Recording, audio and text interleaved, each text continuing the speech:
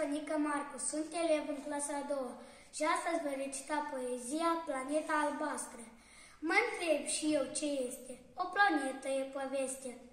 Am să-ți explic și ție din mica enciclopedie. Am citit și am aflat că pământul nu e lat.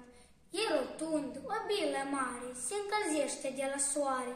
Peste tot trăiesc copii, veseli și spun poezii. Una am învățat și eu și nu mi este deloc greu. Dragi copii și mici și mari, haideți să fim gospodari, să îngrijim și pom și floare, să crotim păsări zvoare, munți și mare și pădure, tot ce e frumos pe lume, să iubim planeta noastră, minunata floare albastră.